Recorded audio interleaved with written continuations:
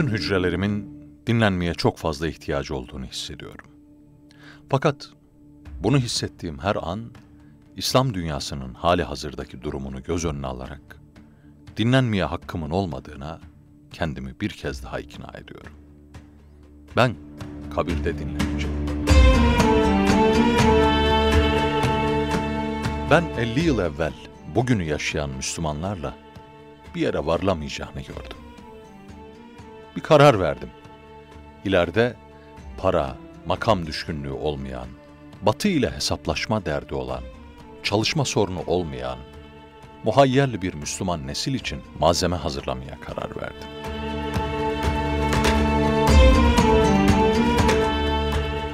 Fuat Sezgin sadece bu arşivlik cümlelerin değil, ömrünü adadığı binlerce el yazma eserin adeta tek tek her bir sayfasının bedelini ödemiş, sözlerinin altına hayatıyla imzasını atmış, müstesna bir şahsiyettir.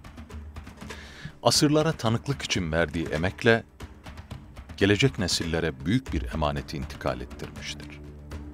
Söz konusu emanet, şüphesiz ki, öncelikle bu şahsiyettir. Bu bitmek bilmeyen gayret, samimiyet ve adanmışlıktır. Nedir bu adanmışlık? Niyedir bu çile? Neyi yitirdiğimizi hatırlamak için.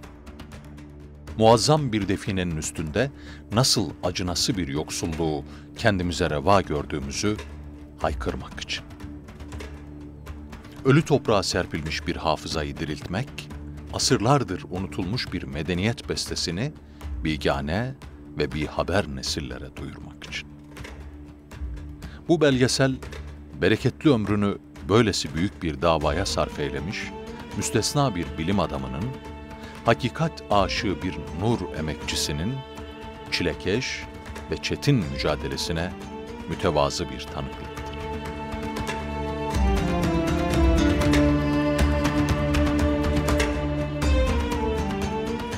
Neredeyse bir asır evvel 1924'ün 24 Ekim'inde Bitlis'te dünyaya geldi.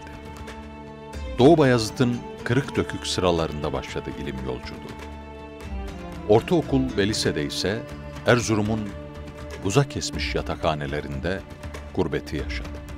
Takvimler 1943'ü gösterdiğinde üniversite tahsili için hayatının başkenti İstanbul'un yol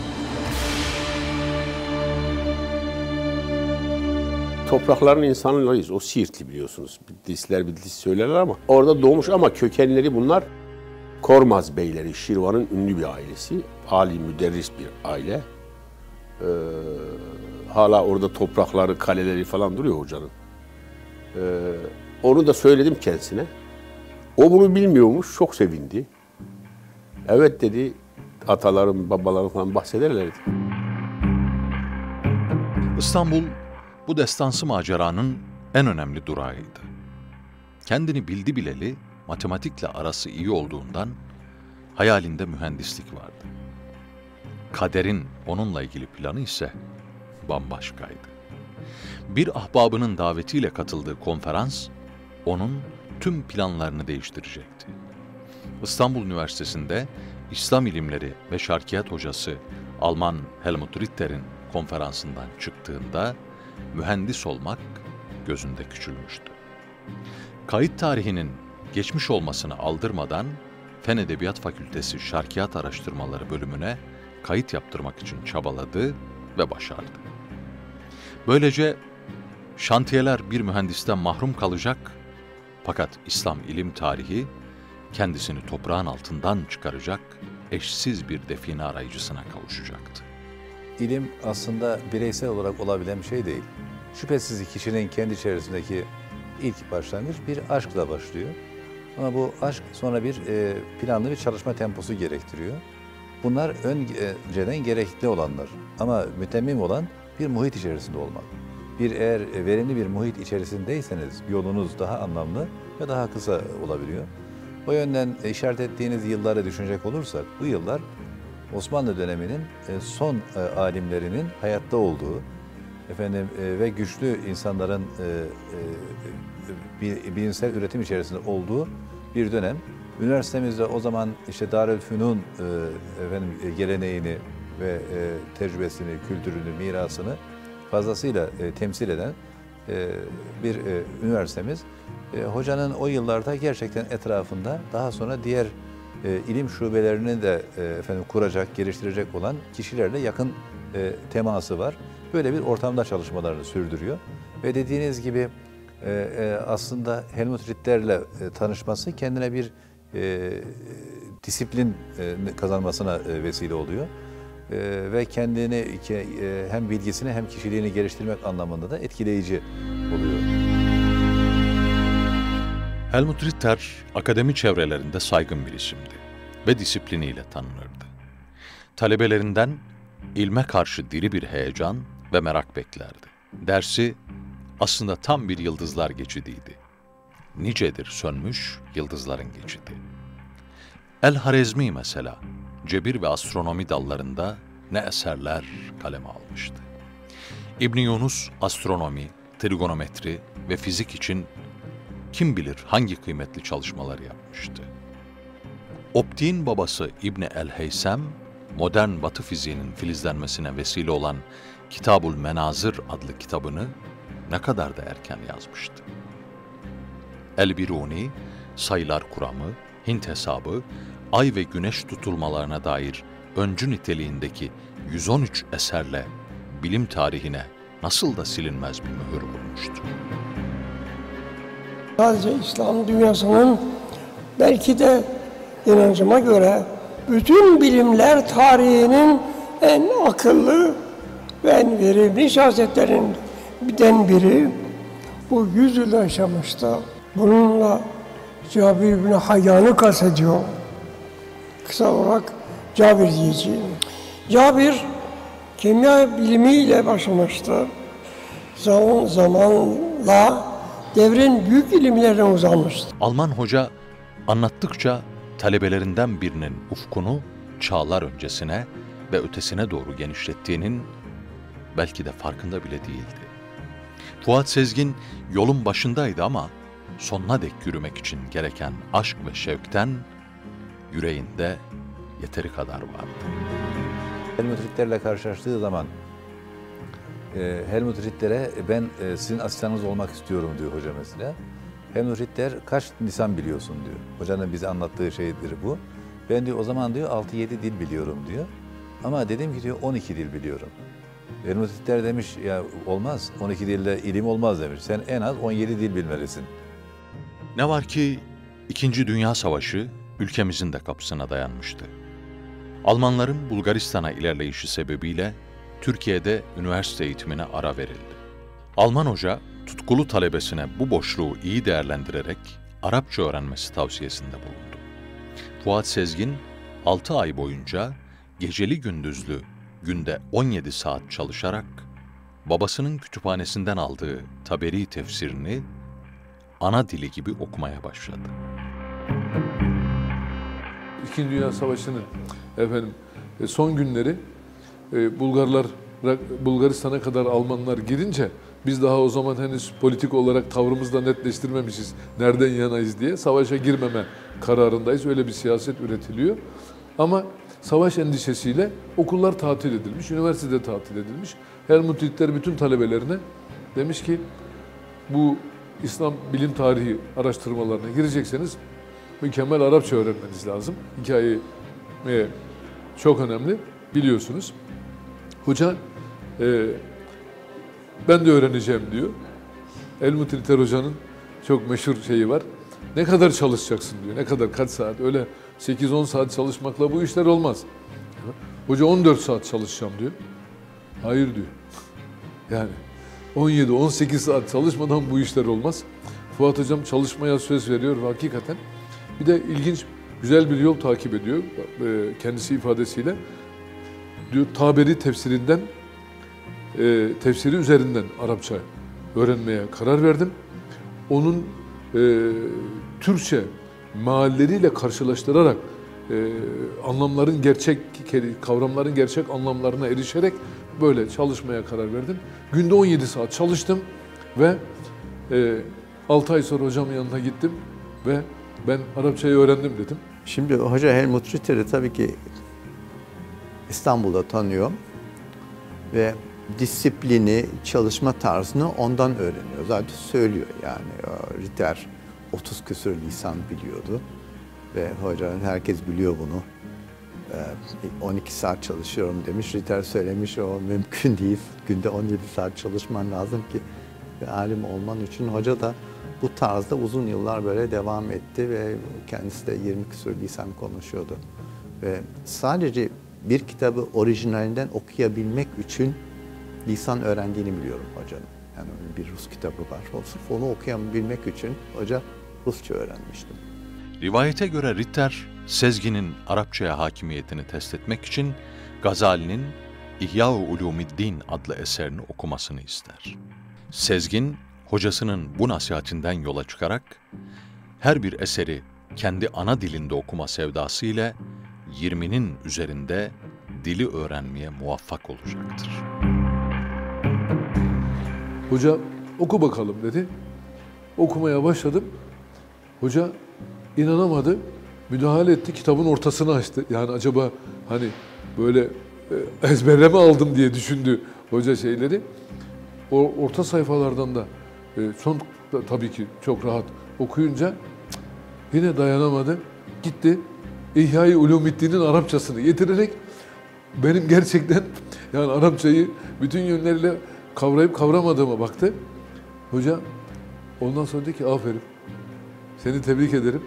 Sen inşallah çok başarılı olacaksın diye e, beni yanına aldı ve ondan sonra dikkatini, emeğini hiç üzerimden eksik etmedi diye. Ondan her zaman çok büyük bir saygıyla bahsederdi. Şimdi müzemizde de girişte hemen onun e, hocasının büyük bir oryantalist. Nasıl bir oryantalist?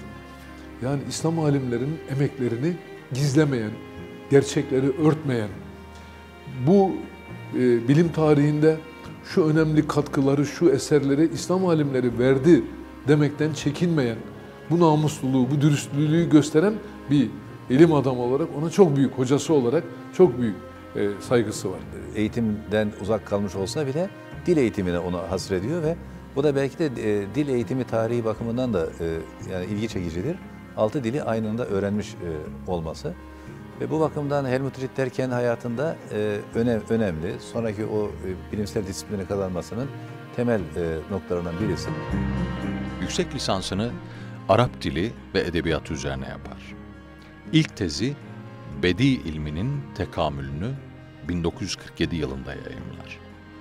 Bunun ardından Ritter'in danışmanlığında İbnel Müsenna'nın Mecazül Kur'an adındaki dil bilimsel tefsirini konu alan ikinci tezini yapar.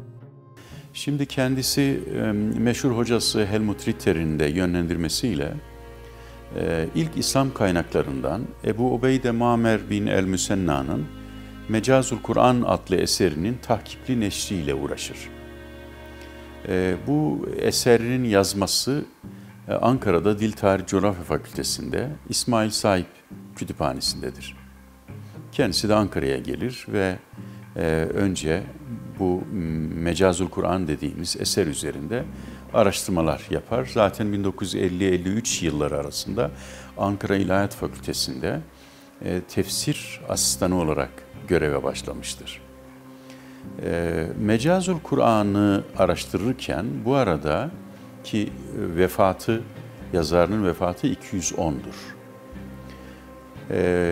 Buhari'nin sahihinde araştırma yaptığı eserden bazı alıntılarla karşılaşır. Bunun üzerine Mecazul Kur'an'ı bir tarafa bırakıp Buhari üzerinde araştırmalara başlar.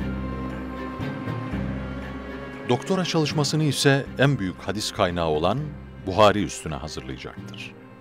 Araştırmalarında Buhari'nin yazılı kaynaklar kullandığını tespit etmesi oldukça önemli bir keşiftir. Fuat Hoca'nın bu keşfinden önce akademisyenler ve muhaddisler hadis mecmualarının sözlü rivayete dayandığını savunmaktaydılar. Buhari'nin kaynaklarına dair takdim tezini 1950 yılında yayımlar ve bu tez Avrupalılar arasında tartışma konusu olmaya o gün bugün devam eder. Yani Buhari'nin kaynaklarından başlaması e, bütün e, e, İslam tarihindeki ilimlerin kaynağının hadisler olması aynı zamanda. Bunu görüyor, bunu fark ediyor. Hadis usulünün, hadis rivayet rivayetlerin tahkik usulünün senet zincirinin falan incelenmesi. Dolayısıyla kaynağının bir haberin yani hadisin haberin literatürde haber deniyor. Kaynağının araştırılması e, dolayısıyla e, tasih edilmesi, tasdik edilmesi süreci mu- muhteşem. Yani haberi a- haberi aldığınız kişinin güvenilir olması lazım. Onun e, e, her bakımdan güvenilir olması lazım ama. Tamam mı? Yalan söylememesi lazım, ahlaklı olması lazım vesaire. Dolayısıyla e, yani bütün bu özelliklerini tetkik ederek, tahkik ederek bir araştırma e, ortaya koyuyorsun. E, bir e, haberle ilgili. Muhteşem bir şey ya bu. Yani buradan tarih ilmi doğuyor işte. Yani tarih ilmi buradan doğuyor. Yani bizdeki tarih ilmi İbn Haldun kendi tarih ilmini geliştirirken İbn Haldun tarih ilmini geliştirirken doğrudan hadis usulünden, hadis e, e, inceleme, tahkik yönteminden yararlandığını zaten kendisi söylüyor. Yani bunu birilerinin çıkıp e, keşfetmesi lazımdı. Birilerinin dolayısıyla hadislere yapılan saldırıyı püskürtmesi lazım. Hazreti Peygamber'e yapılan, yapılan saldırıyı püskürtmesi lazımdı. Hadislere yapılan, Hazreti Peygamber'e yapılan saldırıyı püskürttüğünüz zaman eee Kur'an-ı Kerim'e gelecek saldırıyı da püskürtmüş olursunuz. Peygamberi devre dışı bırakan bir din kısa devre yapar. Tamam mı? Dolayısıyla Hazreti Peygamber'in devre dışı kaldığı bir dinin eee, eee, önüne gelenin kendisini peygamber yerine eee, koyacağını ve dolayısıyla tarumar edileceğini bilmemiz lazım. Yani protestanlaştırma projesi bu. Yani bunları kavramış birisi Buhari'nin kaynakları diyor. Kitabın çalışması da bu. Buhari'nin kaynakları. Dolayısıyla e, aslında e, tarih ilminin, bilim tarihinin, oradan bilim tarihine geçiyor. Bütün diğer e, ilim dallarının geliştirilmesinde de, belli başlı ilim dallarının geliştirilmesinde de hadislerin e, kilit rol oynadığını dolayısıyla ispatlamış oluyor. Yani kaynakları tahkik edilmesi, e, tahkik süreci dolayısıyla bilim e, tarihinin araştırılması, kurulması, kurucu bir adam. Yani bilim e, tarihini e, nasıl yazabileceğimizi, bunun metodolojisini geliştirmiş bir öncü bilim adamından bahsediyoruz.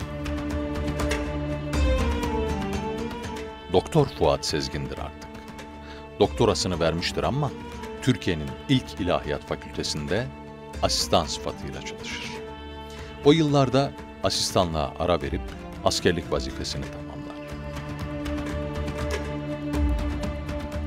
Ankara Üniversitesi bünyesinde İlahiyat Fakültesi 1949'da açılmıştı ve 1950 yılında biz e, fakültenin o dönemin hoca ve yönetimlerinin e, yetişecek akademik kadroyu, geleceğin hocalarını e, tespit etmeye, bulmaya çalıştıklarını görüyoruz.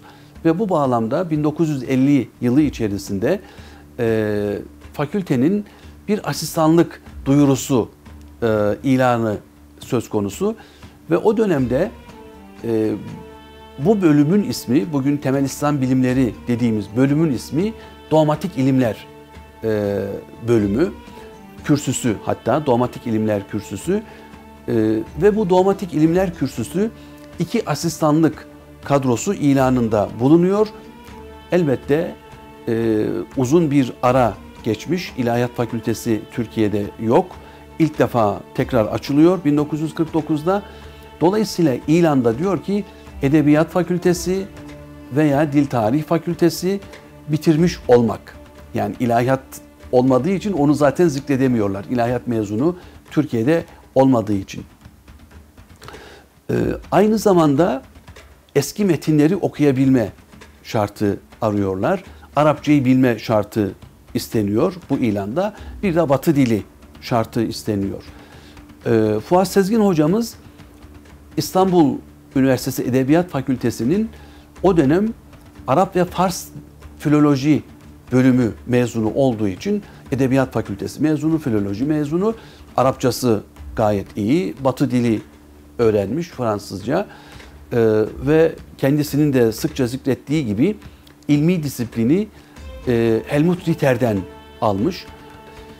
Ve hocamız o dönemde doktora çalışmasını bile belli bir noktaya getirmiş. Neredeyse sonuçlandırmış. Kendisi o dönem İstanbul e, Üniversitesi'nin kütüphanesinde memur olarak çalışıyor. 1950 yılında e, böyle bir ilan e, yapılınca hocamız bu asistanlık kadrosuna müracaat ediyor. Onun dilekçelerini, el yazılı dilekçelerini de biz e, dosyasında e, görebiliyoruz hocamızın. E, bu sınava katılmak istediğini, e, yabancı dil olarak da Fransızcadan imtihana girmek istediğini belirtiyor. E, hocamız sınava giriyor, e, muvaffak oluyor ve e, böylece ismi o zaman e, kürsü, dogmatik ilimler, e, asistan adaylığı gibi olsa da e, netice itibarıyla e, Ankara Üniversitesi İlahiyat Fakültesi'nin ilk tefsir asistanı Fuat Sezgin hocamız oluyor. Fuat Sezgin klişelerin değil, hakikatin peşindedir. Tabularla arası hiç iyi olmamıştır. İlimde derinleştikçe pek çok tabuyu İbrahimi bir baltayla tuz buz edişi bundandır. Yazma eserlere, kaynakları olan hakimiyeti sayesinde Karl Brockelmann'ın meşhur beş ciltlik Arap Edebiyat Tarihi eserini tasih ederken, pek çok yazma eserin ihmal edilerek bu kitaba konmadığı tespitinde bulunur. Düzeltmek için başladığı eserin sil baştan yazılmasına karar verir.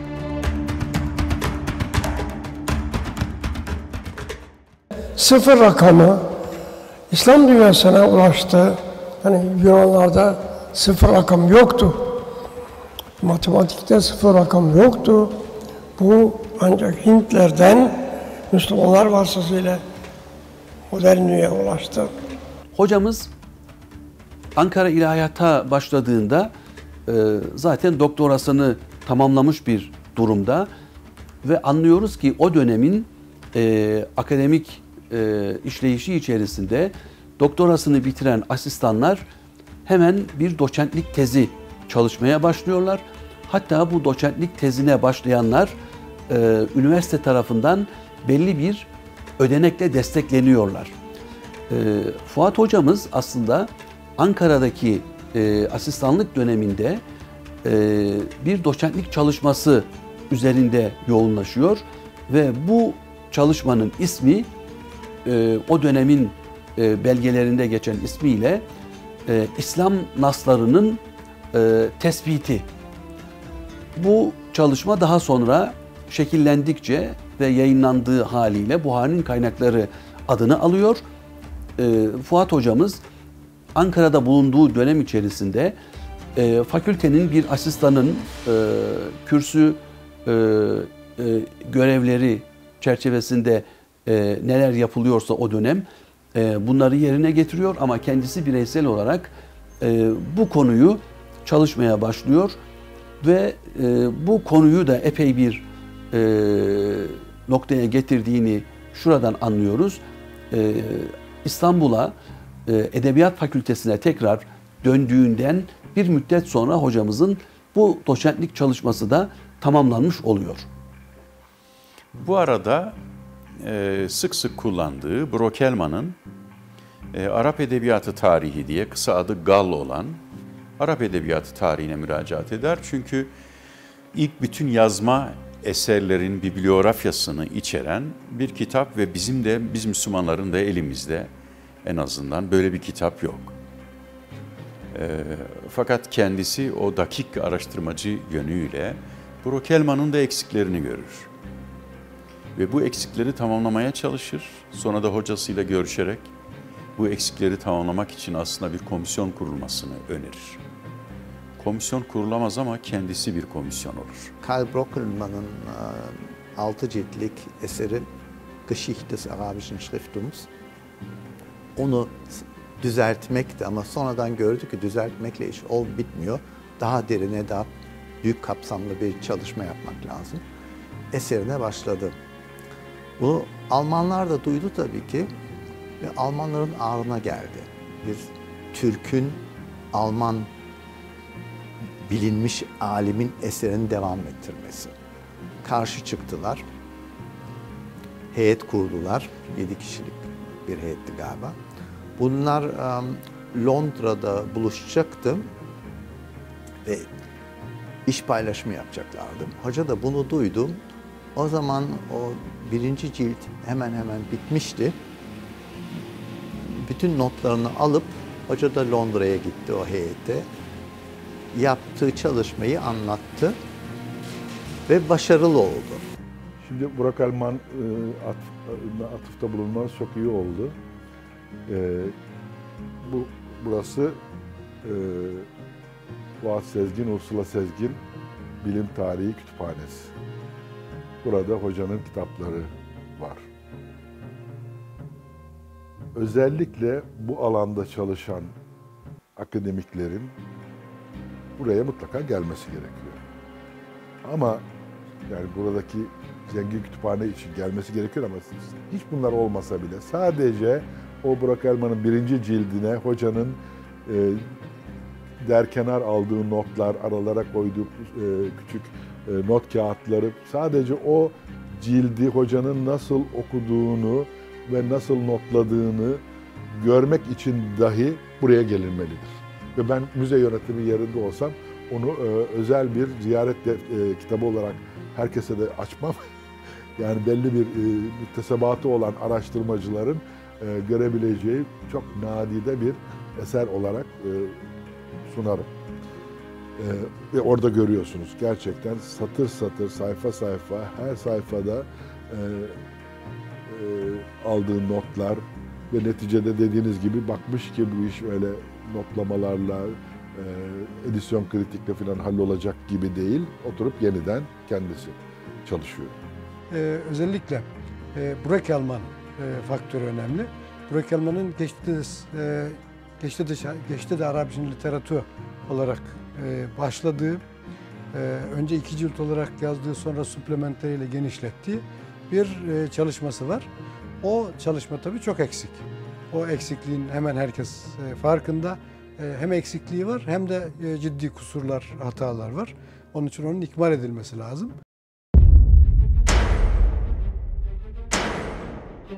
Aylardan Mayıs'tır ve Türkiye askeri bir darbe ile karşı karşıyadır. 27 Mayıs'la birlikte sosyal, siyasi, hayatın her alanını insana dar eden yasaklar yürürlüğe. Baskılar akademinin kürsülerine kadar uzanır. Pek çok akademisyen kara listeye alınıp 147'liler olarak ilan edilir ve üniversitelerden atılır. Fuat Sezgin o günleri şöyle anlatır. Benim bu muhit içinde yaşamam zor olacaktır demiştim ama artık başka bir muhit ara diye içimde bir ses gelmemişti. 147 profesörün üniversiteden atıldığını yazıyor diye çocuklar bağırıyorlardı. Bir gazeteyi al, elime aldım. Galiba 47. sırada benim adım vardı. Gazeteyi çantama soktum. Enstitü yerine Süleymaniye Kütüphanesi'ne gittim. Orada çantamı açtım. Dört tane mektup yazdım. İkisini Amerika'ya, ikisini Almanya'ya. Ben artık bazı çoluk çocuğun idaresi ellerine aldığı bir memleketten üniversitesinden atıldım. Artık bir ilmime devam edebilmek için başka bir yer aramak zorundayım diye bu mektuplarla bir ifadede bulundum. Bunlardan gelen ilk cevap için 10 günden fazla bir zaman geçmemişti. Gelen bu Frankfurt Üniversitesi'ne gelmişti. Benim orada tanıdığım rektör vekili dünyanın en büyük tanınmış bilim adam, bilim tarihçilerinden biriydi. Bana hemen cevap verdi. Sizi misafir profesör olarak davet ediyoruz dedi. Artık yolum açılmıştı. 13 13 Mart 1961 yılında memleketimi terk etmek zorunda kalmıştım. Trajik bir hikaye. Ee, Yani e, kendi ülkesinin beyinlerini e, koruyamayan, e, hatta dışarıya göndermekte hiçbir sakınca görmeyen, yani gözünün yaşına bakmadan e, yani bu ülkenin önünü açabilecek e, insanları e, sınır dışı eden, ülke dışına süren bir ruhsuz darbeden bahsediyor. Yani bu kafayla bir yere gidilmez. Yani bu darbenin bu ülkenin beyinlerini yurt dışına sürmesi bile ne kadar e, gayri milli olduğunu, gayri insani olduğunu, dolayısıyla e, e, darbelerin e, halkın geleceğini, ülkenin geleceğini e, düşünmediklerini, dolayısıyla birilerinin e, işte emperyalistlerin sözcülüğünü, gözcülüğünü yaptıklarını gösteriyor. Yani o açıdan da ilginç bir örnek. Yani Fuat Sezgin gibi bir adamı niye gönderiyorsun sen ya? Yani sen öyle bir adam zaten buradan çıkaramazsın. Yani bir de e, Fuat Sezgin hocanın kendisinin de e, yurt, dışı, yurt dışına gönderilişi konusunda e, gösterdiği tevekkül, e, dolayısıyla gösterdiği tavır e, nasıl e, e, samimi e, bir Müslümanla karşı karşıya olduğumuzu da gösteriyor. Ülkesini her hal ve şartta e, çok seven bir Müslüman bilim adamıyla, ilim adamıyla karşı karşıya olduğumuzu gösteriyor. Hoca biliyorsunuz 27 Mayıs'tan sonra üniversitede kıyıma uğrayan e, hocalardan biri. Evet 147'ler diye bilinen 27 Mayıs darbesini yapan e, darbecilerin üniversiteden e, uzaklaştırdıkları e, bilim adamlarından bir- biri de hoca. Doçent. E, sebep sebep ağabeyi Servet e, Sezgin'in e, efendim Demokrat Parti milletvekiliymiş. Bakın orada da enteresan bir şey var. Ağabeyi Kayseri cezaevindeyken 27 Mayıs'tan sonra Kayseri cezaevi Demokrat Partili yani milletvekilleriyle beraber Celal Bayar vesaire onlarla Kayseri cezaevindeyken e, Avrupa'nın üzerine doğan İslam güneşi diye bir kitap çeviriyor Almancadan. Almancayı orada öğreniyor hapishanede ve o kitabı çeviriyor. 60 darbesi neticesinde 147 akademisyen üniversitelerden e, çıkarıldılar. O zaman hocamızın üniversiteden çıkarılması da muhtemelen e, abisinin senatör olmasından başka bir şey değildi. Abisi Kayseri cezaevindeydi darbeden sonra E, ve e, bu yüzden muhtemelen sadece üniversiteden çıkarıldı. E, o neticede de onun sonucunda da hocamız Frankfurt'a gitti, akademik çalışmalarını orada sürdürdü. Aslında iki yönlü bakabiliriz bu işe. Hocamız Türkiye'de kalsaydı, darbelerin gırla gittiği bir ülkede zaten akademik çalışmalarını hakkıyla yapamayacaktı. Bu yönüyle Frankfurt'ta olması ona aslında daha iyi kapılar açmış oldu. Dolayısıyla e, bir yandan böyle ama bir yandan da şunu görmemiz lazım. Demek ki toplumlara bazı şeyleri dayatarak değiştirmeye çalışmanın e, şeyi yok, anlamı yok. Bu millet bunlarla çok uğraşmak zorunda kaldı. Yani bu millete 200 yıldır olmadığı şeyler dayatılıyor, değiştirilmeye çalışılıyor. Şekli şemali içi değiştirilmeye çalışılıyor. Ve bunlarla bu millet ne oluyor? Devamlı huzursuz oluyor, devamlı mutsuz oluyor. Yani yüzlerce yıl mutlu, mesut, beraber yaşamış olan insanlar birbirlerine küstürülmüş oluyor, küstürülmeye çalışılmış oluyor. Hocamızın gönderilmesi de öyle bir küskünlük hikayesi. Yani biz hocamızı kazanmayı başardık Allah'ın izniyle. İnşallah ülkemizde bir daha bu tür zorbalıklar, zorlamalar, bu toplumu kendi dinamiklerinden bağımsız olarak değiştirme çabaları olmaz diye de böylece düşünmüş olduğumu belirtmek istedim. Hoca 1960'lardan sonra Almanya'ya mecburen geldi. Amerika'ya da gidebilirdi, Almanya'yı seçti. Frankfurt'a geldi. Frankfurt'ta da o zamanlar Şarkiyat Bölüm Başkanı Profesör Zellheim vardı. Zellheim 6 aylığına Bayrut'a çalışmaya gitti. Frankfurt Üniversitesi Zellheim'i temsil için hocayı çağırmıştı Frankfurt'ta. Ama hocayı bildirmemişler sadece 6 ay diye. 6 ay geçtikten sonra hoca çok zor duruma geçti. işi kapandı. Bunun üzerine Wilhelm Hartner, e, bu Bilim Tarih Enstitü Başkanı hocaya söyledi bizde çalışabilirsiniz diye hocanın çalışmalarını gördü. Çok e, sağlam bir çalışması var. Epi lisan biliyor. Öyle insanlar da nadir bulmak. Ama Zelheim nedense istemedi hocayı. O öbür enstitüye geçti ve Hartner hocaya epi destek oldu. Hoca, üniversiteden ihraç edilmesinden sonra kasvetli bir yol ayrımındadır. Şartların kendisini ülkeden ayrılmaya zorladığını hisseder. Darbenin kıydığı büyük bir beyin göç yolundadır artık. Her şeye rağmen vakur ve mütevekkildir. Onu yeni tanıyan insanlar üzerinde bile güçlü bir etki bırakır. Frankfurt'taki o ilk yıllarına dair Profesör Willy Hartner'la ilgili anısı buna iyi bir örnektir.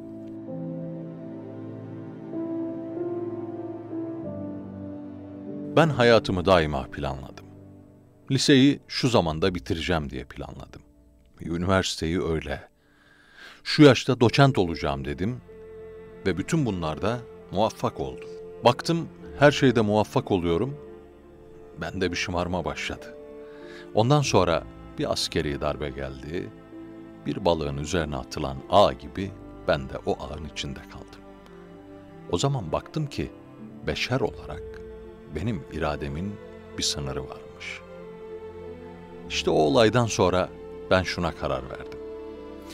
Hayatımda eğer altı haftalık bir geleceğim garanti edilse, yani o kadar yaşayabilecek kadar maddi imkanım varsa, yedinci haftayı düşünmeyeceğim. Onun için önümde iki ay daha var. Para da biriktirdim. Onları düşünmüyorum dedim. Adamcağız bana baktı, baktı. Ayağa kalktı, beni kucakladı. Bana dedi ki, ben ateistim, Allah'a inanmıyorum.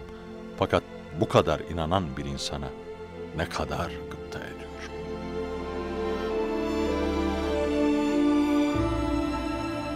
Doçent Doktor Fuat Sezgin, 1965 yılında Cabir bin Hayyan üstüne tezini kaleme alarak bir yıl sonra profesörlük ünvanı almaya hak kazanır.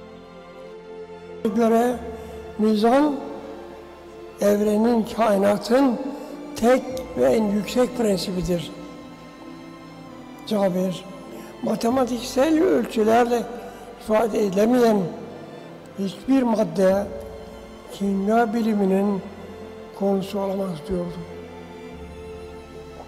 Cabir, insan aklının yüksekliğine ve tabiat kanunlarının yetkinliğine olan güvenine dayanarak suni olarak nebat, hayvan hatta insan yaratabileceğini düşünüyordum. O bununla beraber Müslüman olduğuna inanıyordu ve diyor ki Allah bize bu kabiliyeti vermiştir.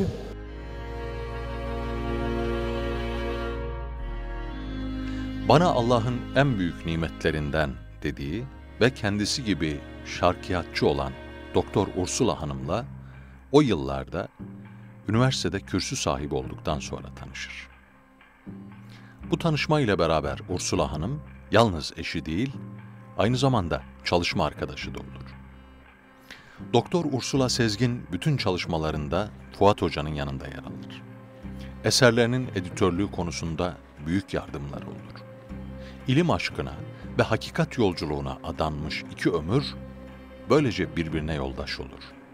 Sezgin çifti için ilim daima baş köşededir. Öyle ki kimi zaman ekmek yerine kitap almayı tercih etmişlerdir.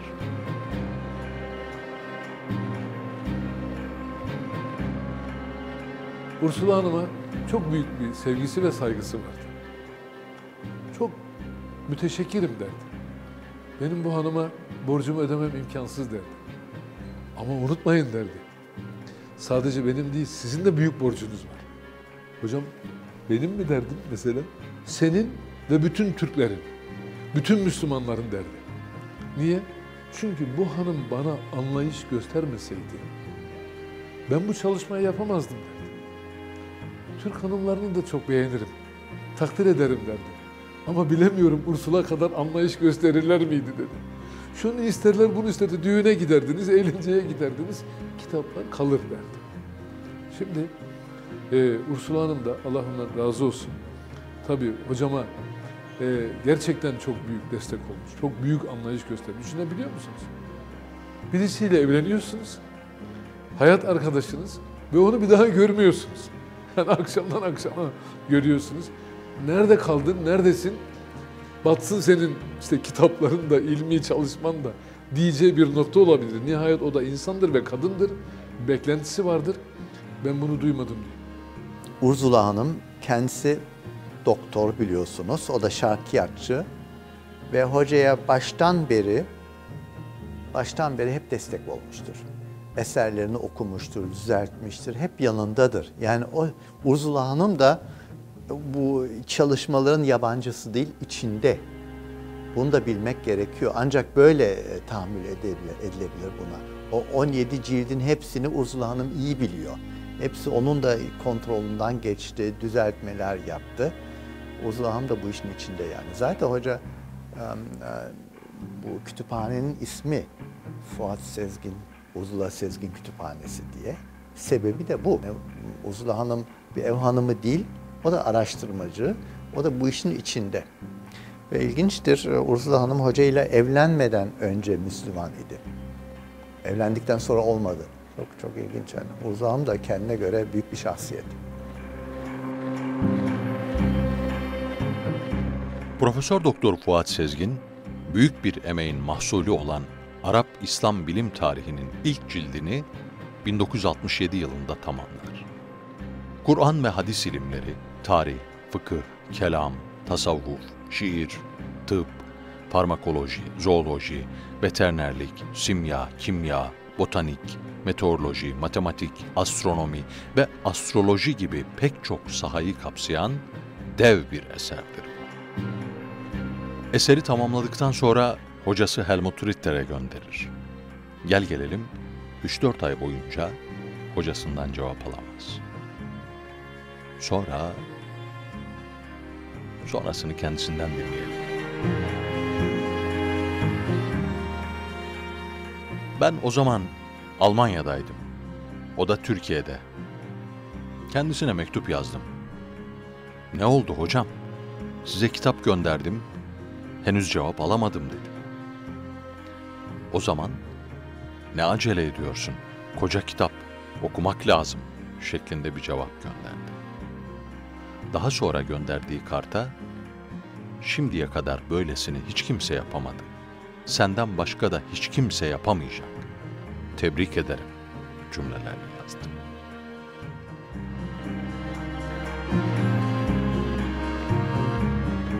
Arap İslam Bilimleri Tarihi eseri, İslam tefekkür tarihinin pek çok dalındaki yazılı mirasını elden geçirmiş, tasnif etmiş, kaynakların durum tahlilini yapmış, biyografik, bibliografik, devasa bir ansiklopedidir.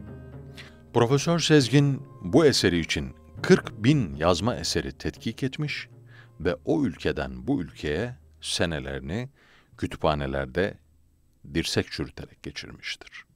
Onun çalışmalarını sadece bir kataloglama faaliyeti gibi görmek büyük bir kadir bilmezlik olur.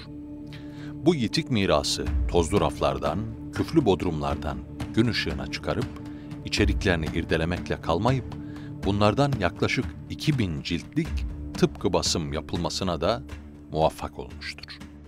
Hocanın eserinin adı e, Geçişte des Arabischen Schriftums. Yani e, Arapça yazılmış metinlerin e, tarihi. E, dolayısıyla bu mesela şey değil. Arap bilimi tarihi yani Arap milletine ait olan bir şey değil. Arapça yazılmış, e, Arapça, Arap dilinde dile getirilmiş e, düşüncenin, ilmi çalışmaların tarihi. Fuat Sezgin Hoca'nın e, kaydını tuttuğu e, eserlerin müelliflerinin e, belki kahir ekseriyeti Arap değildir. Yani Türkler, İranlılar, Hintliler yani çok çeşitli bölgelerde yaşamış. Yani şeyler, e, Boşnaklar ne bileyim yani bütün e, Müslüman milletlerin e, burada e, yaptığı çalışmalar var. E, ama burada e, esas e, referans noktası dil, Arapça. Dolayısıyla bu bize hem e, yapılan çalışmanın e, yani mahiyeti konusunda hani onu değerlendirirken dikkat almak e, gerekiyor. Onun farkında olmak lazım. E, bir yani sadece Arapçayı e, esas alıyor bu e, 17 ciltlik eserde.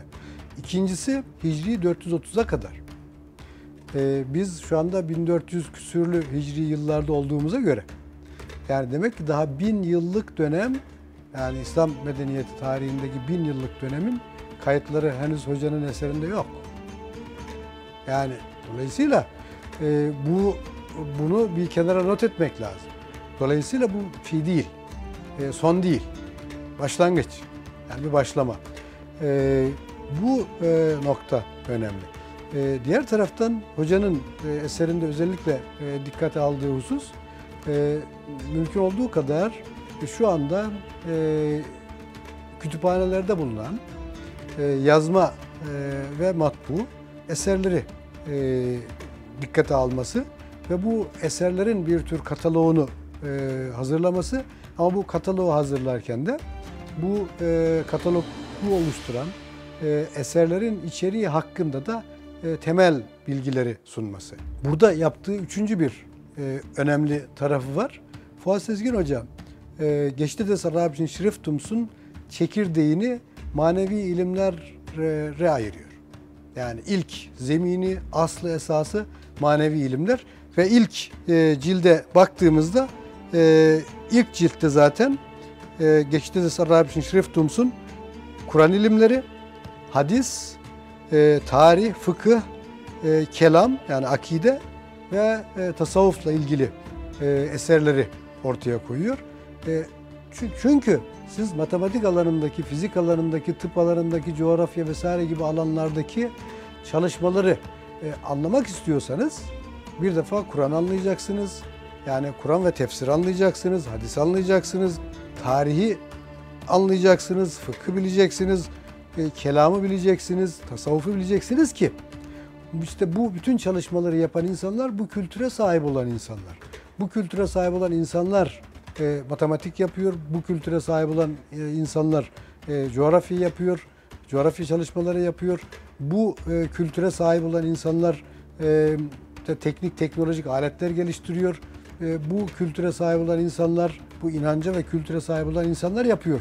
İşte siyasetle alakalı, hukukla alakalı bütün çalışmaları, yönetimle alakalı vesaire. Bunu hep bu insanlar yapıyor. Dolayısıyla e, siz bir e, işte ilim tarihi e, yazmak istiyorsanız o zaman merkezine manevi ilimleri yerleştirmeniz gerekiyor. Fuat Sezgin Hoca'nın aslında e, Geçides Arabişin Şriftums'ta e, yaptığı şey esas itibariyle temel olarak bu. Fuat Hoca'nın ifadesi ve isteği şuydu. Brokelman Zeyl yazmak için yola çıktığı bu serüvende e, Brokelman'ın eksiklikleri ve İstanbul'daki yazmaları görmeden e, bazı genellemelerde bulunmuş olmasını hatalı görerek yazdığı kitaplarla ki devamında gelen külliyatta istediği şuydu. Bilimler tarihi yeniden yazılmalı. Çünkü e, birçok açıdan yani mesela ben kendim alanım olması dolayısıyla Rönesans ve bilim tarihi ile alakalı e, fark ettiğim, kendisiyle yaptığım görüşmelerde gördüğüm, dinlediğim şey şuydu. Mesela Leonardo da Vinci. Yani bu e, Leonardo da Vinci şimdi benim de yaptığım okumalar neticesinde e, şahit olduğum, Fuat Hoca'nın da bana söylemiş olduğu bilgileri birleştirdiğimde şöyle bir şey ortaya çıkıyor. Yani bizim İslam bilimler tarihi içerisinde yaşamış önemli simaların Leonardo da Vinci'den hatta şöyle söyleyeyim Leonardo da Vinci ile kıyaslanamayacak derecede büyük insanların hem teorik hem pratik açıdan eserler verdiğini, birçok e, çalışmalarıyla Leonardo da Vinci, Kopernik, Galile gibi büyük insanlara e, ve modern dönemde de işte Descartes olsun, Newton olsun, Kepler olsun, Tycho Brahe olsun bu insanlara inanılmaz bir e, şekilde tesir ettiklerini ifade ediyordu kendisi ve bunu eserleriyle e, hatta benim şahsi kanaatim niye olarak ifade etmek istiyorum. Belki dünyada bir şeyler hakkında mübalağa etmek hakkı olan tek insan Fuat Sezgin'di. Çünkü inanılmaz çalışmalara imza atmış ama bu hakkı olmasına rağmen bir kez bile en ufak konuda mübalağa ettiğini görmedim. Ve eserlerinde de bunu özellikle altını çiziyor. Bizim mübalağa etme ihtiyacımız yok demişti. Çünkü yazdığımız şeyler e, İslam bilimler tarihinde bizim e, bizden önce gelen insanların ortaya koymuş olduğu şeyler hiçbir mübalağaya gerek bırakmayacak derecede büyük zaten. Neredeyse insanüstü bir emeği yansıtan kitap, kısa zamanda uluslararası ilim mahfillerinde büyük bir yankıya sebep olur. Olur olmasına da Müslüman Türk kimliğindeki bir akademisyenin böylesine abidevi bir eserle arzı endam etmesi, batılı çevrelerde garezkar tartışmalara da konu olmuş. Bir yayın evi, Profesör Sezgin'i davet ederek farklı milletlerden oluşan ondan fazla bilim insanı ile imtihan etmeye kalkar. Derleme heyet, küçük düşürmek için toplandığı Profesör Doktor Fuat Sezgin'den bir hayli etkilenir ama Batı'nın alışılageldik ben merkezci ve ırkçı önyargılarını, dini bağnazlıklarını aşamazlar. Bir müddet sonra da kendilerini lav ederler.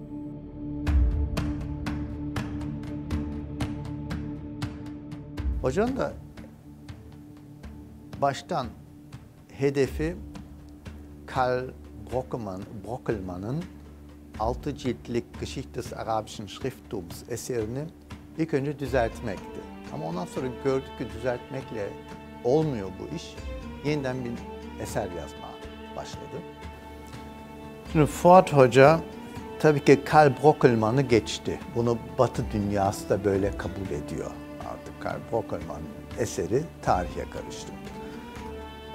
Fuat Hoca'nın eserinde öyle pasajlar var ki bu Batı dünyasını çok sarsıyor. Mesela en basit aklıma gelen Marco Polo. Batı dünyası ona inanıyor ki Marco Polo daha hala öyle kabul ediyorlar. Marco Polo haritaları kendisi çizdi ve dünya, Batı dünyasına böyle dünyayı böyle gösterdi. Bu palavra yani hoca bunu öyle gördü ki öyle çalışmalarda o çıktı ki Marco Polo bu haritalarını İslam alimlerinden çalma. İslam haritaları bunlar. Ve böyle birkaç tane ifade var. Sırf Marco Polo değil, o enlemlerle, um, bu, bu astron, astronomiyle e, çok e, yani batıyı yıkan tezler var ortada. Onun için kabul etseler bile fazla eserden bahsetmiyorlar açıkçası. Şu var ki onun hakkını teslim eden Hakşinas birçok batılı da çıkmıştır. Bunlardan biri Alman bilim adamı Profesör Gerhard Anders'tir. Şahsen onun kadar istikametli ve bütün hayatını sadece bilimsel çalışmaya adayan çok az kişi tanıyorum. Sezgin bu zor işi tek başına başardı. Sahip olduğu o kadar kapsamlı malzemeler vardı ki Brokelman'ın sınırlarını aşmıştı. El-Biruni, El-Kindi, Farabi, ibn Sina gibi isimlerin Brokelman gibi sadece bir yan konu olarak ele almayı uygun ve yeterli görmüyordu.